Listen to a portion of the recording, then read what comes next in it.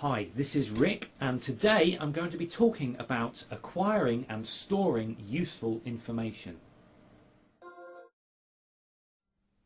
Now, if you're like me, you may rely quite a lot on the internet for information. After all, the internet contains pretty much the sum of all human knowledge. The chances are, if you want to know something, all you've got to do is Google it and you're probably going to find your answers. So, what happens if you find yourself in a crisis and, for example, the power goes down and the internet is no longer available to you?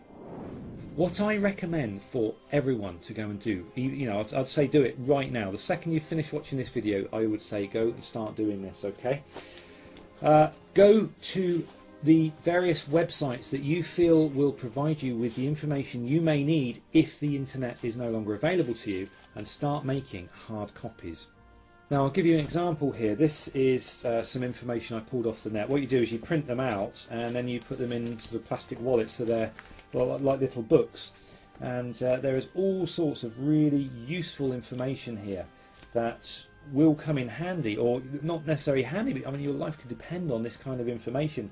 Now, this is information you're probably not going to be sort of retaining up here. I mean, it, it's great if you can learn it up here, but the chances are some of this information will only ever be useful in the time of a crisis. So, and the chances are you're not really going to be retaining that information very well unless you're using it all the time.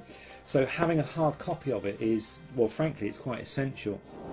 Now, right now, this is everything I've printed out from the internet. These are all the hard copies, and I've categorised them. Uh, so far, I've got five categories.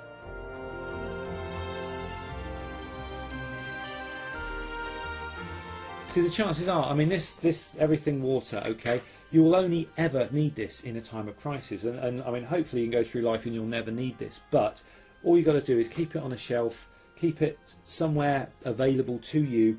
And if whatever happened and you do find yourself in a crisis, you're covered. You've got it covered. Okay. The chances are, if you find yourself in a crisis and you don't have this information, it's going to become. It's not just going to become an inconvenience. It's going to become life-threatening. So this is information that is so easy to get right now. But the chances are, if, like I say, in a crisis, you suddenly find yourself on your own and you don't have access to this kind of information, you're going to be in trouble. Of course, the other thing is books. Um, don't just rely on the internet. There's um, all sorts of books 1001 Home Remedies, absolutely fantastic. Um, another one here called Where There's No Doctor. Okay, and of course, the, uh, the holy grail of all uh, preparedness books is called the SAS Survival Handbook by John Lofty Wiseman. This is no home should be without this book. Um, but also the other one is um, if if you do find yourself in a long-term crisis and you're going to have to start sort of uh, supplementing food and things like that, what you're going to need is a um, a trees and plants identification book. Okay, if you have information saying that you know you can eat the bark of a, of a whatever tree, um, you some you, you're actually going to need to be able to identify that tree. So um, a tree and plant identification book could become a lifesaver. So the point of this video is to put across the importance of knowledge and information. You see, the thing is, in a crisis situation, you're going to be needing knowledge and information that you may not necessarily have in here. You may be dealing with circumstances that you've never ever come across before.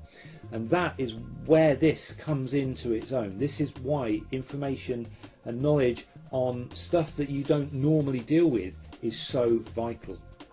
So I recommend anyone to just start now. Start printing, start getting hard copies, start keeping your eye out for books, and don't forget to get an SAS survival handbook because these things are this is just the ultimate uh, preparedness and survival Bible. And uh, like I say, no home should be without it. So I hope this video was useful to someone. Thanks for watching, and I'll see you in the next episode.